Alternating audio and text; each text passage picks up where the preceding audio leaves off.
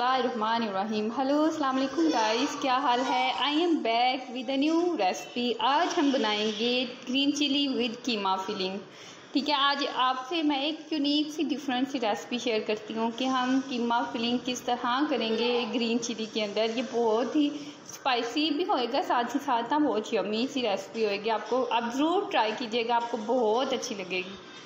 Okay जनाब, अब हम देखते हैं कि इसके लिए हमें क्या इंग्रेडिएंट्स चाहिए, हमें थ्रेड चाहिए, ठीक है? और हमें थ्री ग्रीन चिलीज़ ली है, मैंने कीमा लिया है और एक प्याज लिया है, इसके साथ साथ पुदीना, खुश्क धनिया हल्दी, सूख मिर्च और नमक चाहिए, ठीक है? सबसे पहले तो हम ना ग्रीन चिलीज़ को थोड़ा सा साइड पे कर देते हैं, ठीक है? अभी हम मटेरियल तैयार करते हैं। सबसे पहले ये कीमा ठीक है? थोड़ा सा मोटा चाप है अभी चॉपर में और ज़्यादा ये ब्रिक हो जाएगा। अच्छा एक प्याज इसी के अंदर मैं कट करके तो इसको चॉप कर लेती हूँ।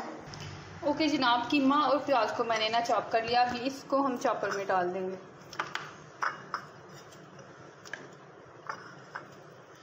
और अच्छे से चॉप कर लेंगे, बहुत ही पतला सा। अब इसको हम कर लेते हैं अपन